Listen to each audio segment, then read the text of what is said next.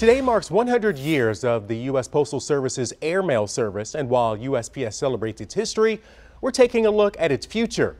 The Postal Service has faced challenges for decades, including a major loss of revenue. So this morning we're asking you, do you think the Postal Service will survive?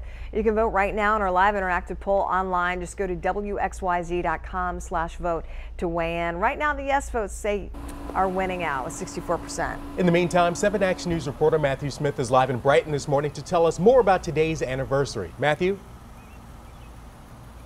Okay, we're talking about a historic day. 100 years ago, the airmail service for the USPS was started. You, know, you take a look at the building behind me and you think there's a lot of history when you talk about the post office, but military men and women taken to the sky 100 years ago, 1918, to start off what we now know as airmail service. And now we're using this opportunity to take a look forward. Is there another 100 years left of the post office? Always changing, always innovating.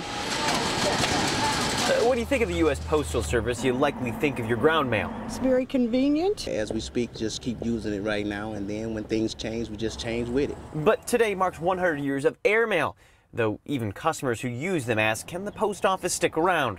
Uh, right now, the Postal Service is being reviewed by a task force created by the President. He himself has called it future unsustainable, and they lost 1.3 billion just this last quarter.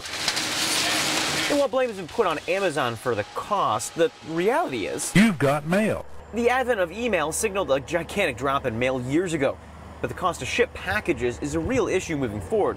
Just one day ago, we discussed the increased cost for trucking companies, a shortage of drivers.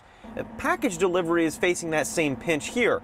Truckers now ship less weight to deliver direct door, and the name Amazon is so big that the mere mention by the Wall Street Journal that they were considering a service to rival USPS and others sent stocks of both UPS and FedEx down in the days following, just back in February.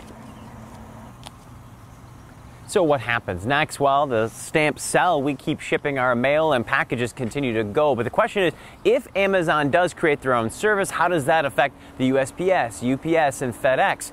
We won't really know until it goes into place. But the reality is how we do business, how all of us send our mail could change in the coming years and decades ahead.